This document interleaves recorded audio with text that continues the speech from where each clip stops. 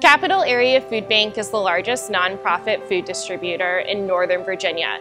We have over 200 partner food distribution agencies across this region, and we're proud that Grace Church is one of these partners.